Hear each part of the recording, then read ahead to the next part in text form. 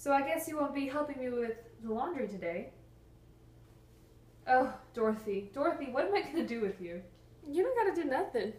Good. That'll make a nice break from worrying day and night. Why should you worry? You're not my mother. No, I'm your mother's big sister, and when you get your face all balled up mad like that, it's almost like having her back with me. You're so like her. Pig-headed, strong, smart, and beautiful. So can I ask where you're off to? Home. Home's back that way. The place I was born. Sweet girl, if I had the magic to put your mom and daddy back in that house for you, you know I would. But they're gone, baby, and all the wishing in the world won't change that. It's still my home. All that's back in Omaha is an empty old house on a neglected plot of land. Where there's nobody riding me to do chores or homework or watching over everything I do 24 hours a day. You think I give you chores to be ornery? Being a part of the family means you always got love, but it comes with responsibilities too. Home is something you've got to earn.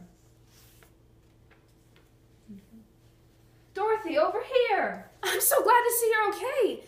That old witch has me scrubbing and polishing and vacuuming. I will never complain about the chore Aunt Em gives me ever again. They got me mopping up leaky pipes mess day in and day out. That old witch sure is afraid of water.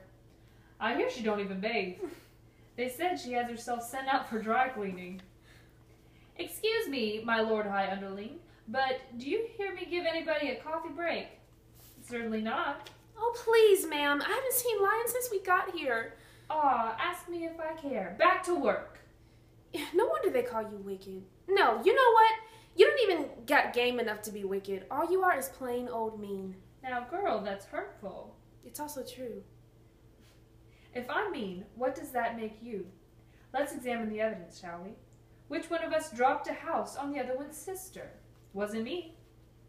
And which one of us stole the magic slippers right off said sister's not even cold yet feet? Anyone see twinkling kicks at the end of these games? I didn't think so.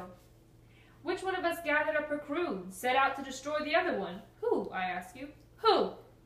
If there's a mean girl in these parts, it certainly ain't me. So before you go casting unkind aspersions, I'd have myself a look in the mirror. Now, get back to work. When are you gonna let us go? When are you gonna give me them kicks? I promised Ada Pearl. I promise Addaperle. This child still don't know who she's messing with. Lord High Underling, call for my dinner. Let him be. If this is where he wants to live, if this is how he wants to live, well, that's up to him. That's right. Maybe he don't want no friends or family. Maybe he don't care about the wonderful world just beyond those doors. Yeah. Maybe he don't miss conversating or sharing a laugh with folks. Maybe he don't want to feel the warmth of a friendly handshake or a hug or a kiss ever again.